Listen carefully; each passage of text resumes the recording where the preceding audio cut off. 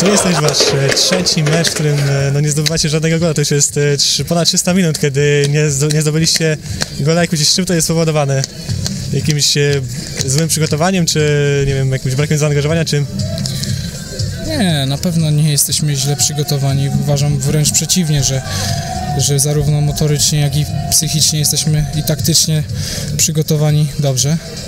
Myślę, że po prostu wynika to z, z braku skuteczności, bo mieliśmy nawet z Zagłębiem teraz w końcówce mieliśmy sytuację i, i niestety nie potrafiliśmy jej wykorzystać, a z taką klasową drużyną nie będzie się miało 10 sytuacji, tylko 2-3 i trzeba to wykorzystać, jeśli chce się myśleć o, o, o jakimś tam pozytywnym wyniku.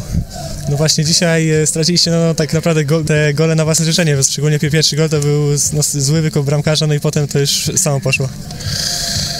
Wie pan, ciężko jest mi oceniać teraz na, na gorąco, bo, bo, bo gramy jako drużyna. No na pewno, na pewno myślę, że przy pierwszej, przy drugiej bramce no, po prostu sami, sami żeśmy stworzyli naszymi złymi zagraniami przeciwnikom y, sytuację, a, a tak klasowa drużyna ni, niestety to wykorzystuje. No właśnie, w w zeszłym sezonie do utrzymania wystarczyło 41 punktów. Czy w tym sezonie myślicie, że będziecie w stanie tyle wywalczyć?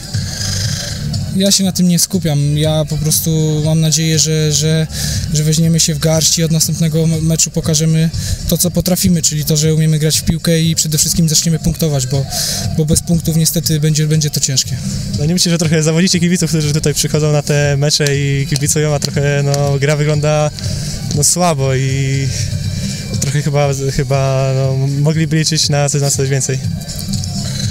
Staramy się w każdym meczu grać jak najlepiej, ale gra się tak jak przeciwnik pozwala. Myślę, że do momentu straty bramki y, realizowaliśmy założenia, jakie żeśmy sobie nakreślili przed tym spotkaniem. Później dostaliśmy bramkę, staraliśmy się, staraliśmy się y, odrobić. Dostaliśmy drugą i, i, i, i Zagłębie kontrolowało mecz, także, także waliliśmy głową w mur, myślę. W końcówce jakieś tam sytuacje ofensywne stwarzaliśmy, ale niestety albo zabrakło jakiegoś dobrego podania, albo wykończenia.